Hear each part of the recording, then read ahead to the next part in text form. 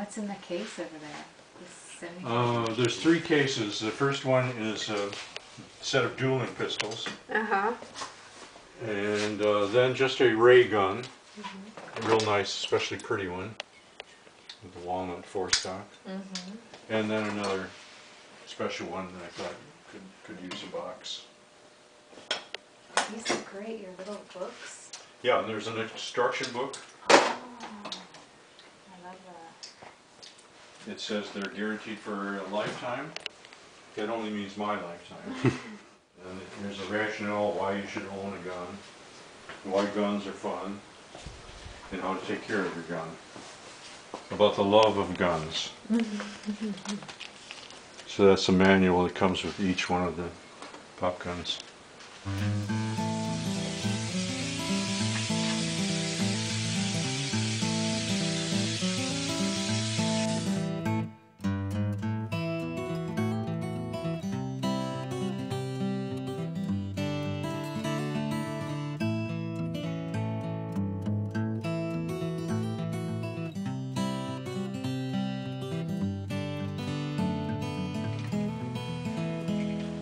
This has a checkered stock. That's something they don't all have. And everyone is signed and numbered here and dated. They go back from about 99 to, uh, Oh, so that's the date, the eighty-eight? yeah. Cool. So how many do you think you've made? Is that the number?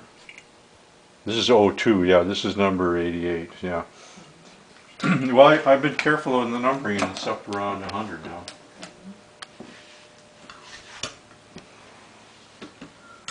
I don't know which is the newest one. Well, This is only number 32. And what is this piece right here?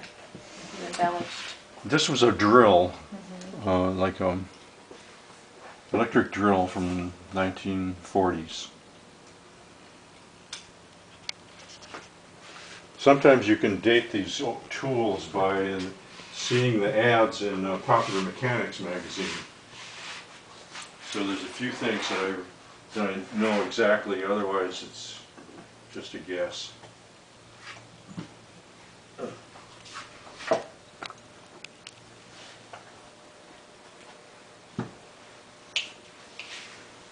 Whoa.